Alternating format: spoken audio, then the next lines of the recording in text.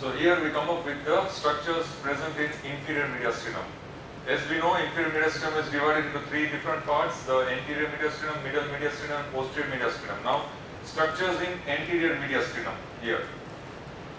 In the anterior mediastinum, we have the following structures. So first we mark here the two sternopericardial ligaments. So please mark here superior inferior sternopericardial ligaments and we are going to keep on marking here. 1 and 2 superior and inferior sternopericardial ligaments so this is what this is structure number 1 in anterior mediastinum. Structure number 2 loose areolar connective tissue. Loose areolar connective tissue. So here we are going to mark even this structure as loose areolar connective tissue because these are asked as MCQs that is why I am writing down in points. Third structure will be known as the here I am going to mark this structure as the retrosternal lymph node. So we are going to mark this as retrosternal lymph node. And structure number 3 and then comes structure number 4 which we are going to mark it as the mediastinal branches of internal thoracic artery. So here we are going to mark this as mediastinal branches of internal thoracic artery. So these are the four structures that are included in the anterior mediastinum. Please note down because once again I repeat, they may be asked in MCQs superior and inferior sternopericardial ligaments, then loose areolar connective tissue, then the retrosternal lymph node and mediastinal branches of internal thoracic artery. Now we come to middle mediastinum. Now in the middle mediastinum, what I'll do is, I don't have space left here, so I'm going to mark here middle mediastinum and I'm going to write down the structure. Similarly, we are going to draw the structures also. The first structure I'm going to write down will be pericardium including the heart. Please note down. First structure, pericardium including the heart. Second structure will be ascending aorta. Third structure will be the pulmonary trunk and its divisions into the right pulmonary artery and left pulmonary artery. These three structures once again here we are going to mark. So these, this itself is the pericardium and the heart. First structure, second structure will be ascending aorta, third structure will be the pulmonary trunk. So somewhere over here we are going to mark pulmonary trunk which is dividing into the right and left pulmonary arteries. So here I am marking this structure as pulmonary trunk and we are going to show here this as pulmonary trunk and its divisions into right and left pulmonary arteries. I hope this is coming. Okay. So therefore, these are the three structures, pericardium and heart, ascending aorta, then pulmonary trunk and its two divisions, right and left pulmonary artery. Now, structure number four. So first I'm going to mark, I'm going to write here structure number four and that will be our pulmonary veins. So, one, two, then three, then four, and then five. Structure number five. Structure number five will be the lower part of lower part of superior vena cava, including the arch of azygos vein. This is very important. Structure number five also. So 4 and 5 we are going to mark here. So we are going to mark this as the four pulmonary veins which we are going to mark here. So please note down here these will be the entire four pulmonary veins which we are going to mark and therefore these are the pulmonary veins so here we are going to mark this as the four pulmonary veins and then we mark here the lower part of, we extend this down as lower part of superior vena cava and we show here arch of azygos vein which is opening and therefore we are going to mark these two structures as structure number 5. lower part of superior vena cava and arch of azygos vein. Remember upper part of superior vena cava, it was included in the superior mediastinum. So upper part of superior vena cava is in superior mediastinum, lower part of superior vena cava where the arch of azygos vein is opening, including the arch of azygos vein is included in the middle mediastinum. These are the structures in the middle mediastinum. So please note down, arch of azygos vein is a structure of middle mediastinum, including the lower part of superior vena cava. Then once again, now structure number 6, where we mark this as the lower part of the trachea, the bifurcation of trachea that is called. And it bifurcates into the right and left bronchi. The bifurcation including the right and left bronchi. So therefore, here we show this trachea bifurcation into the right and left bronchi. We show with simple line diagram.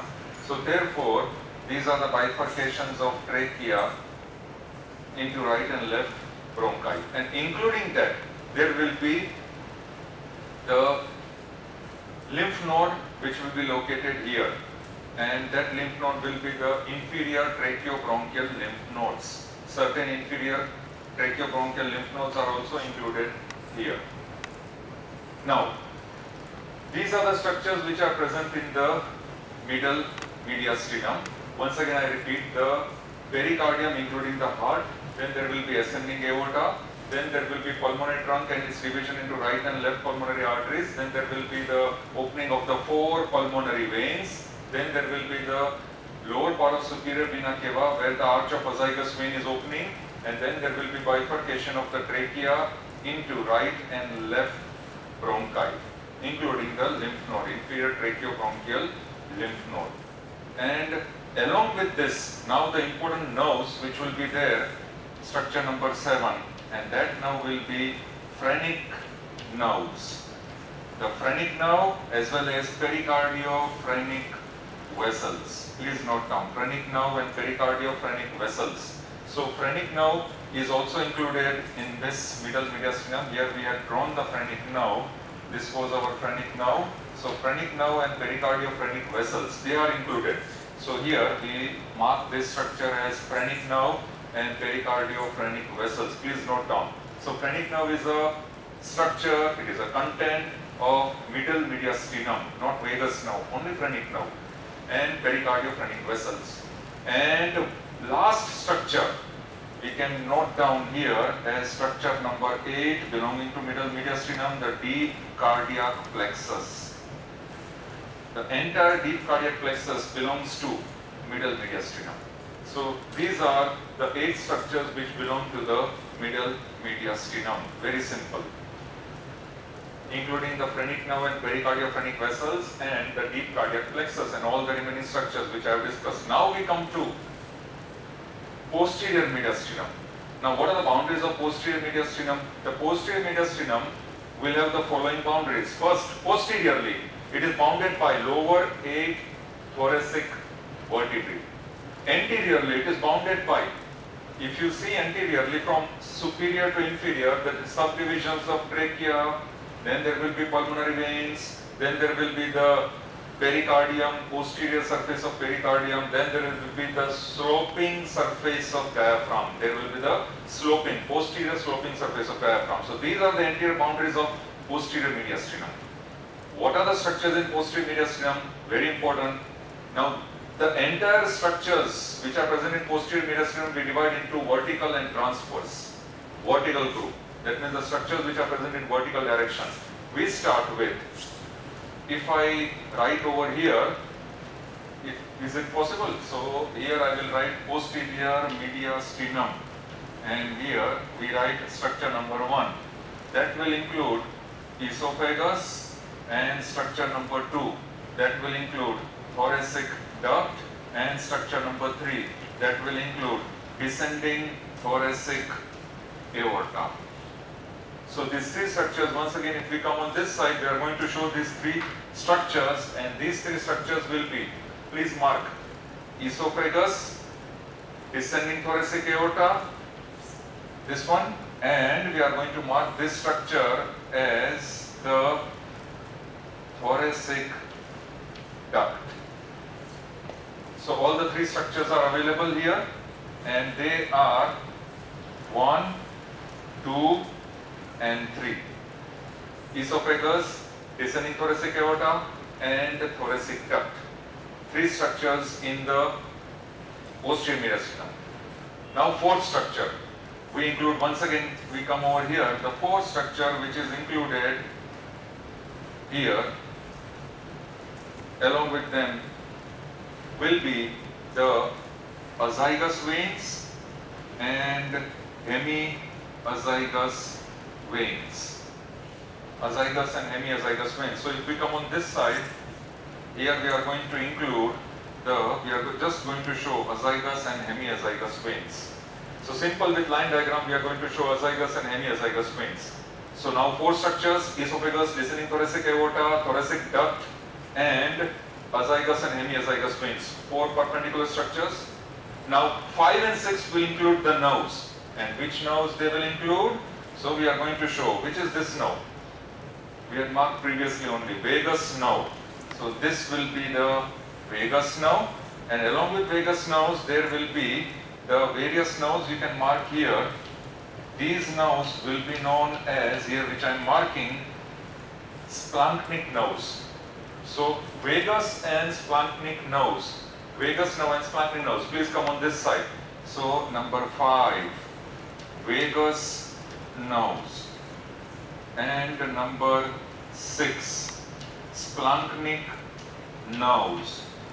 And number seven, posterior mediastinal lymph node. So please note down, posterior mediastinal lymph node. So this is how we mark posterior mediastinal group of lymph node. So therefore, these are the vertical group of structures which are included in posterior mediastinum. We start with esophagus, thoracic duct, then descending thoracic aorta, then azygous vein and hemiazygous veins, then the vagus nerve, then the splanchnic nerve, and posterior mediastinal group of lymph nodes. What are the transverse structures? So please come on this side the transverse structures which are present, see this is also very important in the posterior mediastinum, what are they? Transverse structures, very simple. The opening of accessory azygous and hemiazygous veins respectively at the level of T7 and T8 where they drain from the left to the right in the azygous vein. So here the accessory azygous termination of accessory azygous vein into the azygous vein and termination of hemiazygous vein into the azygous vein. So structure number one, transverse structures which are located in the posterior mediastinum will be accessory azygous vein termination and hemiazygous vein termination which we have discussed during the azygous system.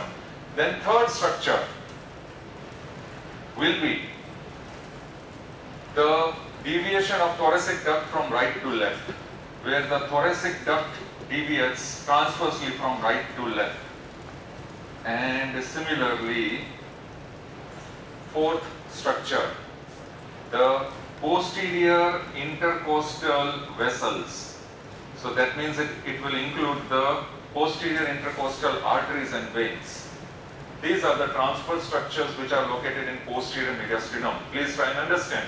So the termination of accessory azygous vein, termination of hemiazygous vein, then the thoracic duct where it deviates from the right to the left side and the posterior intercostal arteries and veins that means posterior intercostal vessels.